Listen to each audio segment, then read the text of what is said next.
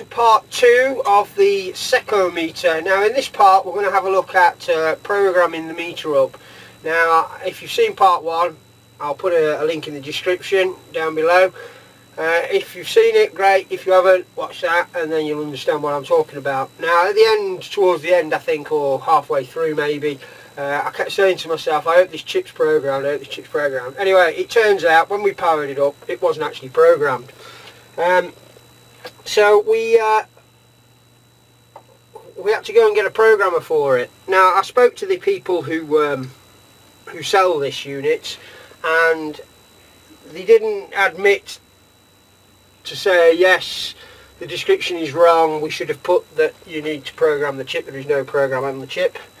Um, but that doesn't matter, you know. I, I, I just thought to myself, yeah, that should have been in the description you're going to need a programmer to uh, to program the chip. But that ain't no biggie for me. You know, I managed to. The program that I had didn't support the uh, the Atmel chip, um, so I've gone and bought a a new up-to-date one, which I think I paid about six pound for on uh, on eBay, and great little programmer. As soon as I plugged it in, once I set it all up, took me a couple of minutes to figure out what was what. Plugged it in into the uh, the the uh, the header here. And away we went no problem whatsoever. Programmed it up. We put the display on. Um, the original display which is this one here which I'll just stick back on. The uh, the original display here we had uh, one line of uh, squares across the top. And I was like what's going on with this? Why have we only got one line of squares? And it, it transpired that it didn't have a program in. So we programmed it up and then when we turned it on we had two rows of uh, squares, just black squares. So I scratched my head for a little while thinking, well there must be something wrong with the unit. It's something I've done wrong to stop it from working. So I got the schematic out again and then I started, um, I tested all the resistors first to make sure that we got all the correct, um, all the correct values in the correct place. I checked the diodes, make sure they're all in the correct way around. I checked uh, various parts of the board for voltage.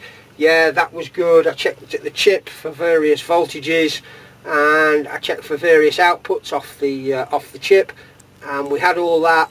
So I then went, okay, well the only thing that's left if we're getting a, a signal from the chip to the, uh, the header here, from the chip to the header, is the display unit. So I then went, okay, I've got a couple of those display units kicking around somewhere.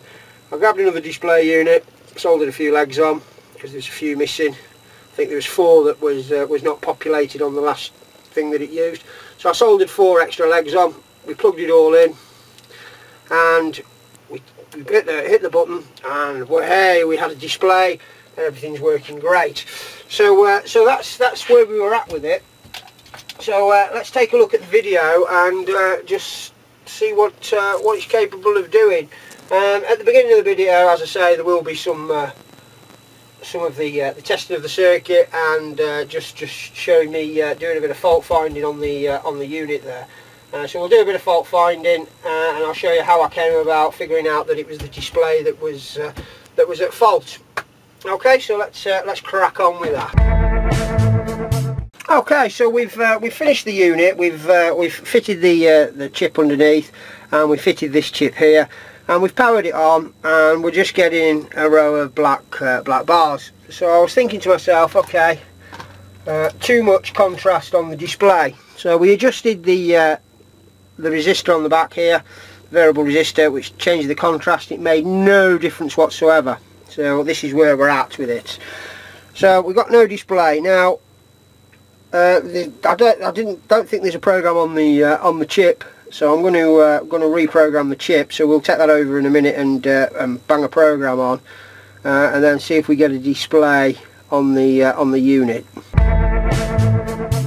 Okay, so we've got um, we've got the programming unit. This is the little little programming unit that we're going to be using. This is the um, SP 200S E this one. Um, now the S doesn't stand for second edition I don't think. I think it stands for something totally different. So don't confuse it because I uh, I didn't get uh, any software with this and I had to go hunting for it. I will put a link for the in the description for the software for this. It is the uh, Willow I think it is. Not not sure offhand. We'll, we'll have a look when we get on the uh, on the system. But anyway it's just a case of getting the programming unit and all we do is we plug that into the uh, the header off the ISP port. And then what we need is we need the USB lead which is all the way over here at the moment for some reason. Just bear with me a second whilst I just untangle it. Uh, my workshop's a bit upside down at the minute. Um, I've been having a bit of a move around and sorting some shit out because it's just been um, well, it's just been one of those years if you know what I mean. And um, time to sort some stuff out. So anyway so then what we need is the uh, the USB lead which then will connect into the programmer here. Like so as you can see we've got a I don't know if you can see this let me move this in so you can see.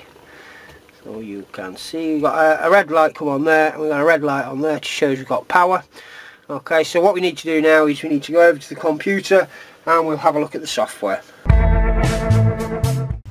Okay, so the program we're going to be using is uh, WL Pro version 2.2. I'll put a link in the description there uh, where you can get it from. Uh, it comes from uh, willard.com. Uh, now the first thing we need to do once we've opened the program is we need to go to device and we need to select our chip. Now I've already got the uh, the AT89S chip selected. This particular chip is the AT89S52 uh, and we're at the ISP port on the board so therefore we want it on that one which is at ISP click OK. As you can see it's got the chip selected there now. Uh, the next thing we need to do is we need to load the program. Now I'll put a link in the description where you can get the uh, the code and everything from. Now I'm just uh, all I've done is I've clicked the load button. And I'm going to open the uh, the this file here which is a hex file. And click OK. And that now program that program is now loaded in and ready to write. Now if we want we can just have a quick look edit it and just have a look at the program itself. As you can see it's all in hex so it means nothing to nobody unless you're superhuman and you can read hex. So anyway let's uh, let's carry on. So the next thing we need to do now once we've loaded the program into the program is we just hit the auto button and what this will do this will erase the uh, the chip. It'll blank the chip. It'll check that it's blank. It'll then program it verify it and write protect it. Okay and that's the chip program. So it's as simple as that. So that's now ready now then to uh, to have the display fitted back on and uh, we'll all be ready to go. So let's get this back on the bench and we'll have a look. We're getting a little bit tired now. Should be 9 volt battery pack. Um, right okay so I'm just going to neutral there I just want to uh, probe onto there. I've got 5 volts onto there 0.7 on the middle. And I've got 6.9 on there. So we've got an input and an output off the uh, off the regulator. That's all good. That's all good good good. Now then where's the drawing? I need to uh, grab the drawing here and I'll just show you what I'm just um, what I'm going to do now. I'm just going to check for voltages at this chip here on pins 40 pins 31 uh, is that it 31 and 40 they're the only two voltages in. Yeah and then these are all the outputs here for the display.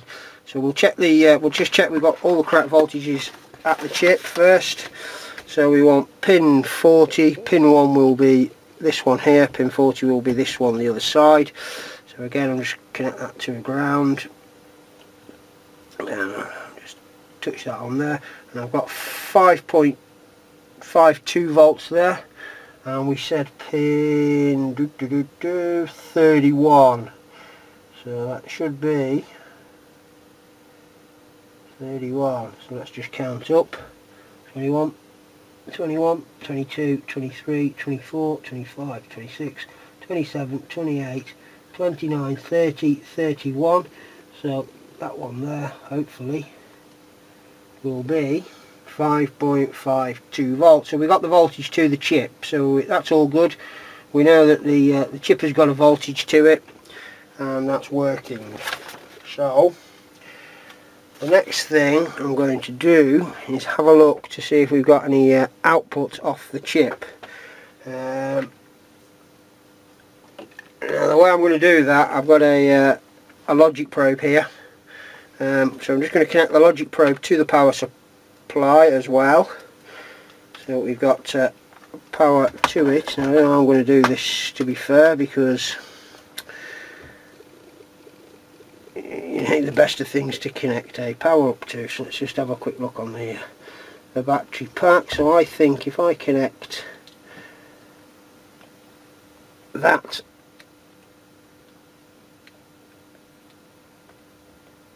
to that.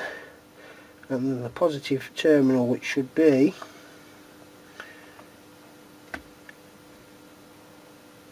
says should be that one there.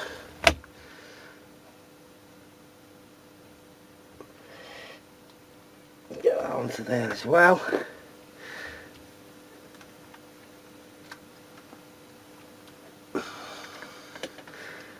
Okay not a very good connection but I've got a connection. Now providing I don't move it too much. Now what we're looking for now we're just going to uh, we're just going to probe the uh, the chip and just check to see whether we've got an output um, for the display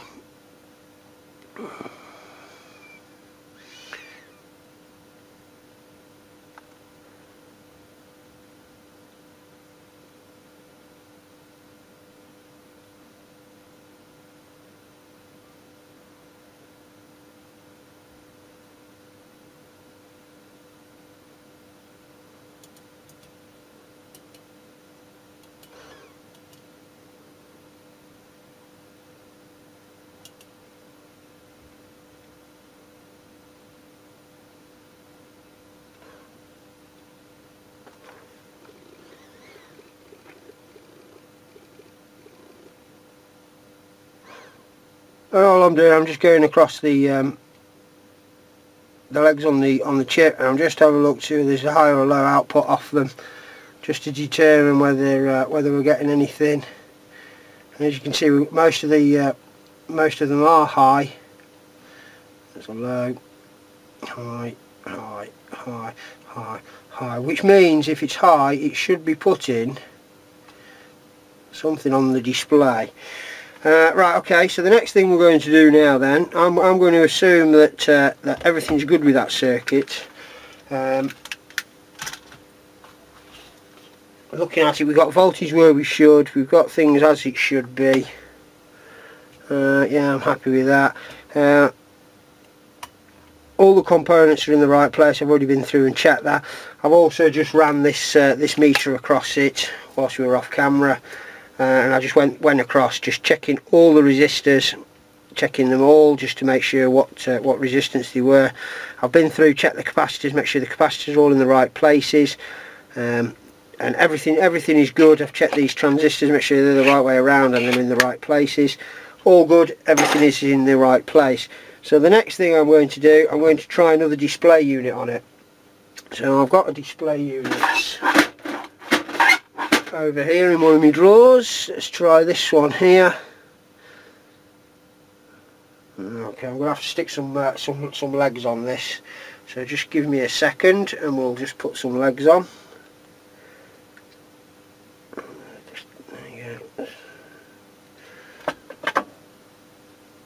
I'm just going to solder these uh, these legs on here. There we go Sorry if that was off camera you couldn't see. I didn't realise it was out of shot there. But uh, all I've done, I've just got another another display unit here. I'm just going to try. And um, power it on. I haven't got any. Oh, there we go. Well, hey. Okay, yeah. So FLC tester. Okay, so it looks as though there might be a problem with this uh, this display unit there. Okay, thank God for that. There's me thinking I might have uh, got something wrong on here. But like I said, we've been through, we've done the tests, we've checked voltages, all correct voltages where we should have. We've got outputs off the chip. Okay, so we've got the unit working. Apologise for the uh, the cut there in the uh, in the filming, uh, but we we ran out of space on the memory card. I should really uh, really check the space before I start filming my favourite one is to um, I've only got a half hour battery life on this uh, camera and my favourite one is just forget losing all track of time and the camera will just go off and I won't even notice and I'll still be yabbling away for another 15-20 minutes before I realise. Um, that's normally happens quite often. Uh, so anyway right the uh, the first thing we're going to do then only because we've got the uh, the leads connected to these terminals here which is for frequency which is marked FX and we've got a ground and positive so obviously these have to be the right way around according to. So the first thing I'm going to do I've got a little program running called tone generator. Uh, you can get this from the uh, the Google Play Store and it's uh, audio uh, test tone generator.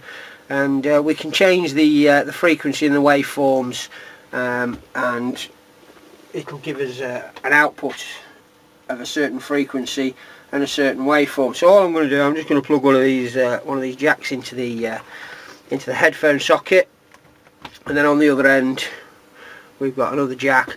All I'm going to do, I'm just going to connect these up to the uh, to the croc clips, and I'm just going to connect one to one end and one to the the, the far end, like so. Okay, right now the first thing I'm going to do, I'm going to um, we already okay so we're on frequency now. We've got the button pressed for frequency and it's showing nothing. So the first thing I'm going to do I'm going to um, turn the tone generator on. That's him on now and that's 25 Hertz. And as you can see by the display it actually says that it's 25 Hertz there so which is pretty good. So let's just um, just hit the presets and I'll go for a 250 and that's 250 hertz um, 20k so 20,000 hertz. 20,012 20,000 hertz yeah that's pretty much 400 400 hertz yeah.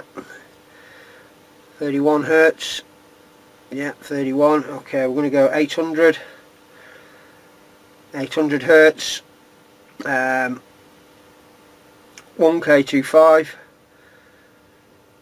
yeah 1250 1600 1600 yeah 2500 2500 so that's all good.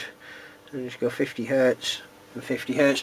So that's pretty uh, pretty damn good. In fact that's bang on um, frequency wise um, and now I, I, haven't calibrated this. I haven't done any adjustments. Now there is a, a variable resistor here.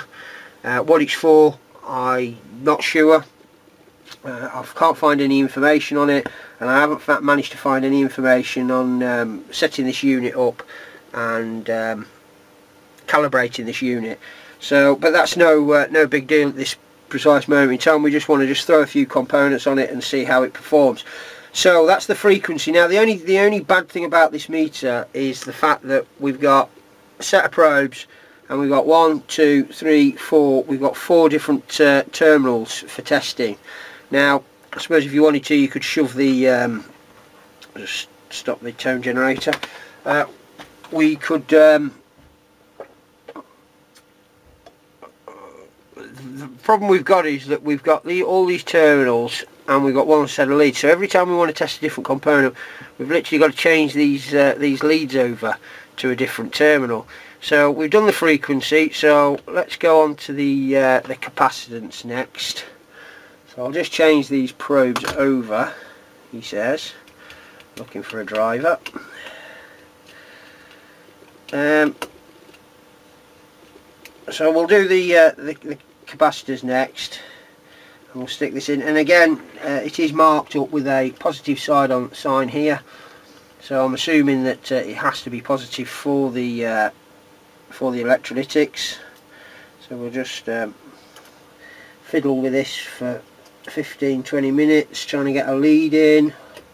See what I mean? That's the only problem. I'm to have to change these leads. Now the other option is that we just stick um, one two three four four sets of crocodile clips on here or four sets of test leads different colours perhaps for the different um, things. That could be one way to do it uh, rather than having to keep changing your probes because obviously you're going to shag all these uh, connections up eventually. You can see where I've unscrewed already and there's a bit of uh, a bit of damage on there uh, so right Phil we turn the, uh, the frequency off and we'll turn the capacitors on. Now we've got small C and big C. So I'll go for the small C first and we'll just grab an electrolytic. Now this one is a 400 volts at 47 mics this one. So we'll just uh, connect that up onto there and there. And we've got 44.00 so 44.00 and it's a 47 so it ain't far off. You know you don't expect uh, them to be bang on with capacitors. They give plus or minus a certain percentage. Uh, so we'll try this one. This one is a 2200 mics at 16 volts. Um, let's just uh, there without the probes touching each other. And they're all touching 33.29 that can't be right. Because we're not connected? 2200 ah you know what? We're on small we're on small yeah we're on small capacitors. So I think to measure the big ones you have to change from small to big. So let's just try that again and make sure we get the probes the right way around. Although I will swap them around in a minute and see if that makes a difference. Get on there then. And we've got 2800 according to that. You can see that on there 2800 yeah 2800 and it's a 2200 this one is a 3300 I'll just pop that on there 3300 and that on there. And we've got 3468 3300 3468 so there might be something to do with this um, this here because it's close in that vicinity. That might be sort of um, calibration for the capacitors not sure as yet. But like I said I'm not going to adjust anything just yet just to uh, not that it'll make any difference because I should imagine they weren't preset when the uh, when the, when they give you the kits. So I should imagine that uh, it's just look at the draw the position that's in. So I'll have to find out what that uh, what that does and what that changes. Um, so we've got a smaller cap a 220 so I'm just going to swap that back over to the small cap thing. So we've got 220 uh, got them the wrong way around. I will actually try it the other way in a minute. So we've got 171 there and it's a 220 yeah it's quite, it's quite a bit out there but uh, let's just swap those over and just, just out curiosity to see if it works with them uh, polarised the opposite direction. Uh, bosh that on there and we're getting um, 175 again. So yeah it doesn't really it obviously doesn't look like it matters about the uh, polarity but it does actually show C plus on this side so I'm assuming that the positive side needs to go to that side. Uh, this is a 680 at 200 volts. 680 at 200 and 684 on that one. 684 and then we've got this one here which is uh, 220 now these are all used caps I haven't got uh, new one. In fact I'll grab a couple of new ones out of a box in a minute. And uh, oh and um, we'll see. Like I said these are these are all uh, used capacitors so the, the the age of them is unknown. I should imagine they're quite old because they're out of some old kit. Been kicking around in a box for God knows how long uh, etc so yeah so we'll just bang that on there. Now I've got the probes the wrong way around on this at the moment whether it makes a difference we're not. Sure yet we've got 187.42 and this is a 220 220 let's just swap them around the other way just to, to see if it makes a difference. 187 187 on a 220 okay and this particular one is a 400 volts 100 microfarads. So drop that onto there. Drop that onto there. And we're getting 95.03 mics. So let me just grab uh, grab a couple out of the box. Some new ones. He says. Let me just uh,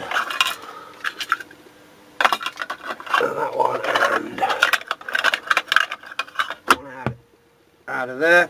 Oh dear I've just um, turned my workshop off just knocked the uh, isolation button there everything just went off Uh, that was a bit of luck.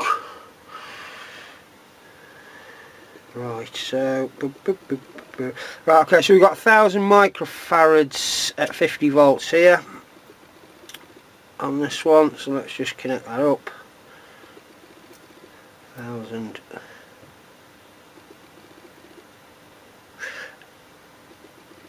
Eight hundred and seventy-three, eight hundred and seventy-three mics that one. And this particular one here is a 680 at 25 680 at 25 and we've got 621 620 620 so it, it does uh, read them.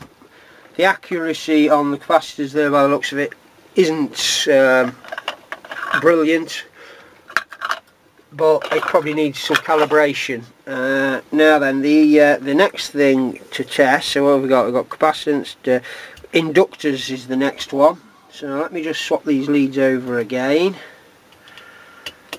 Just bear with me a second. See what I mean about the leads? It's um, if you've got a few different components in a, you, you want to test. If you're building a circuit and you say you want, um, I'll just check that that's the right inductor for the job before you throw it in. You know you have to change your probes and then you got oh look I've got capacitor that's not marked. I just want to see what it is etc you know? And you've got to you've got to change your bloody leads every time. So um, LX that one there is the inductor. Not sure if it matters which way around they go I should imagine it doesn't. It's only measuring a, a resistance across a coil and then doing some sort of a logarithm to uh, to calculate its its value. So they're all off. Turn that on. And we select the inductors. And there we go it's got LX equals. And it's already got a number up there. So we've got uh, got this inductor here. Now this is a three-legged inductor. We've got a common common leg and then two separate legs. So they should be off that between the common and one leg.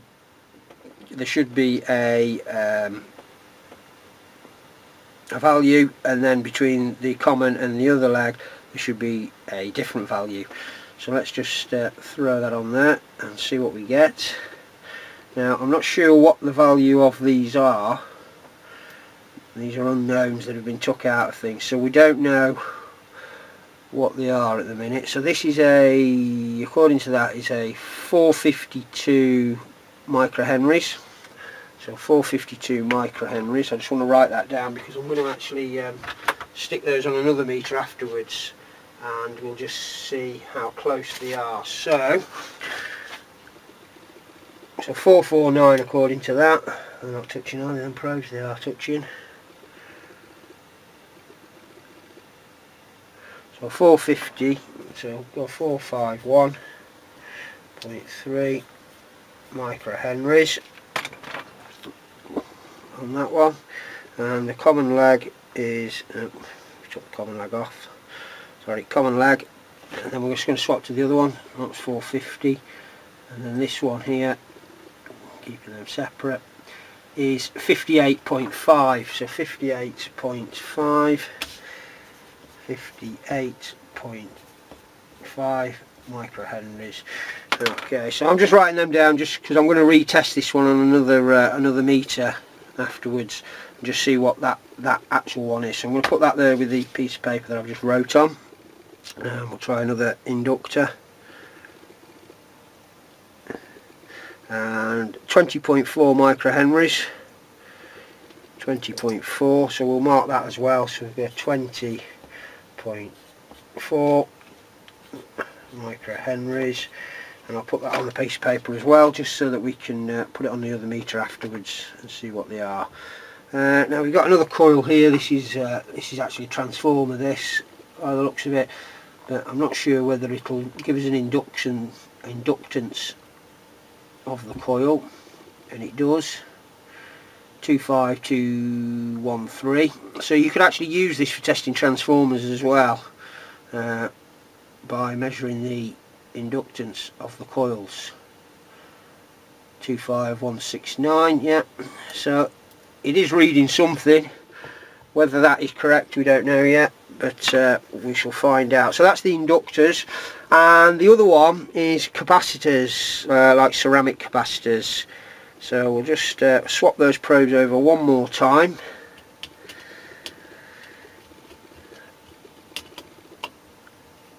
One more time he says, come on swap them over one more time. It doesn't matter which way around they go on this particular one. It's only the electrolytic and the frequency that looks like you have to have your probes uh, the correct way around. Although we did prove that by swapping the probes on the electrolytic capacitor it didn't make any difference. But there obviously is a reason for it. That's the way it's been uh, calculated. Right so we've got a few various uh, various capacitors here. Let's have a look. We've got a 102 a 102 oh, turn it on.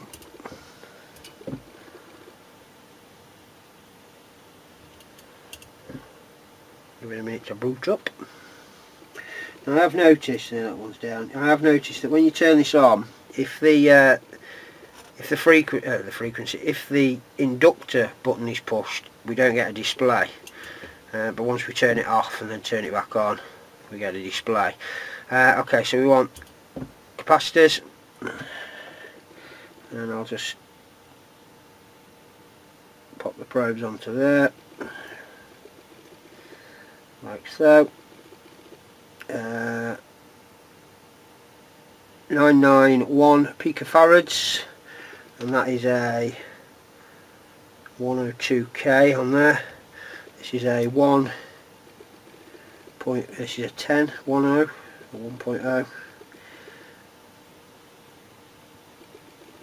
see these crocodiles aren't that great for these little uh, little legs it's not even gripping that one. Let's try another one it's too really small. Um, 471 this is the 471 and that's uh, touching probes. 474 so yeah 471 474 that's uh, that's not bad at all that. So that's the capacitors. Uh, what this one here what's this? This is a I think is a hundred 0.1 or a hundred. Not sure let's just have a look.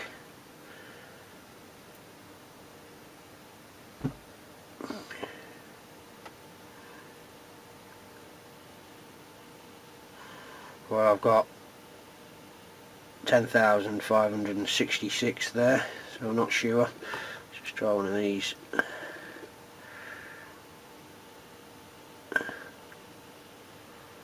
Four four seven which that is a 447 447 oh, come on off. 447 that's 447 so yeah um, yeah so that, that looks pretty uh, pretty good. Now the other thing we're going to do I'm just going to uh, just just use this meter here and I'm just going to test the um, these inductors. Now this one we've got three legs on now let me just see if I can uh, get those in there. Uh, we've got a common leg and a normal leg so if I drop that into one and three like so hopefully hopefully hopefully hopefully I don't know if you see that on there the light's shining. Okay so we've got a 0.44 millihenries, MH millihenries. what do we say? We said a 50 58.5 microhenries so 40.44 millihenries let me just try the other leg. Um, common and that one then. Let me try that one see what we get on him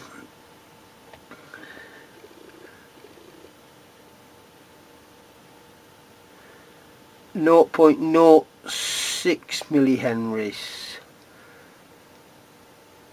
So yeah so that's that's about right isn't it? So that's the, the lower one 0.06 millihenries which would be 60 microhenries and we've got 58.5 microhenries. So yeah okay and then we just swap that round again. That confused me a little bit we got we had 451 and that is 0.44 so that would be 440 microhenries which is 0.4 millihenries. So yeah so that's pretty that's that's not far off to be fair. Then we've got this one here which was 20.4 microhenries. Now I don't know if this will um, uh, I can get that into two legs yeah let me just have a have a look. If you can see there I've got that stuffed in there. It says unknown or damaged so it's not read that. Let me just try another uh, another slot.